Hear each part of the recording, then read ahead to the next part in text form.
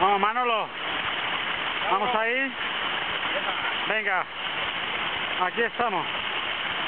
agotaditos después de la historia de los rápeles, de la dureza de la aproximación.